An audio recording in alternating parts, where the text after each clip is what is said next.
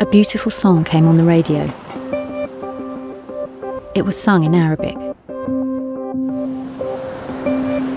I asked the driver if he knew who the singer was. The answer he gave shocked me.